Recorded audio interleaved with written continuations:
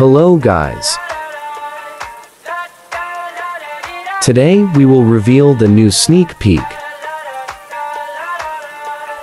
Now let's begin. So this is the first sneak peek.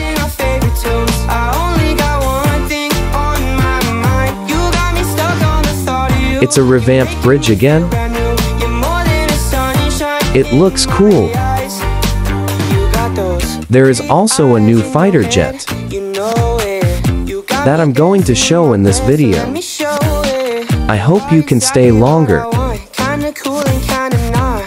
Anyways, I will reveal it now, in 3, two,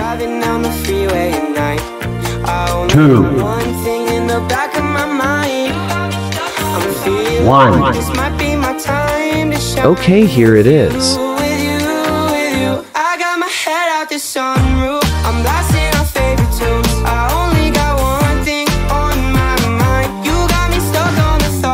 That means they will add a third fighter jet and bring back F-16 and Super F-16 event.